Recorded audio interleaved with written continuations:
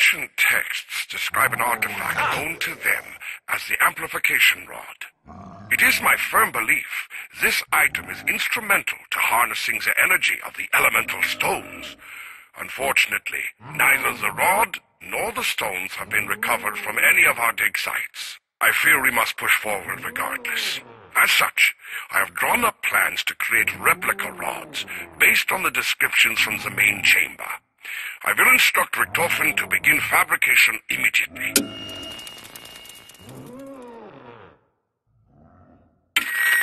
Researching element 115 continues to yield unforeseen results. The conversion process creates localized energy fields which appear to function as portals, bringing forth objects of indeterminate origin. It is my hypothesis, however outlandish, that this transfer of matter may actually be occurring through space and time. I believe the answer may lay with the broken rune stones located at the mound. Perhaps channeling sufficient energy from the conversion generators to their location may prove fruitful.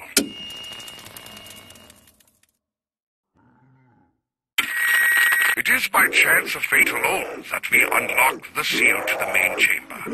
Repeated efforts to use brute force proved ineffective and left the men exhausted and frustrated. In an effort to alleviate the tension, one of the soldiers brought a gramophone to the chamber, along with a recording by a group of performers known as La Source Noire. To our astonishment, as we listened to the first few bars of music, the seal itself began to open.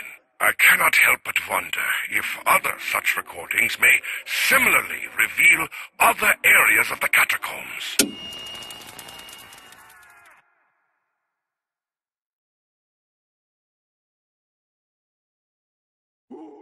I cannot outrun my enemy in this mud. Only a madman would create such a machine that operates without human intervention. When 115 is channeled towards the ancient stones, an energy field appears to drag unknown objects into our reality. Is it possible that element 115 is disrupting the space-time continuum itself? Uh, How else could an ancient box, created eons ago, bring forth weapons from different eras, perhaps including even our own future?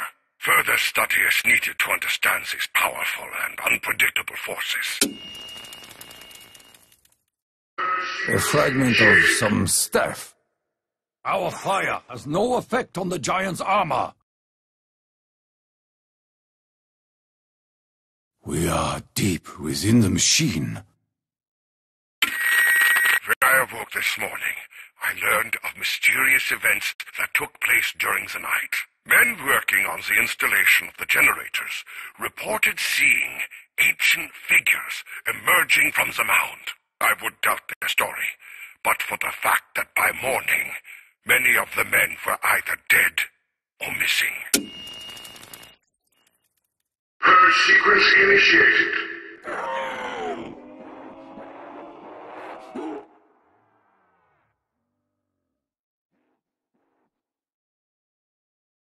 Only a madman would create such a machine that operates without human intervention. The child's voice calls to me more frequently than ever. At first, she spoke only of her imprisonment in a mythical realm known as Agartha. Now she claims to be my daughter, even though I know no such child exists. I fear my sanity may be slipping away from me.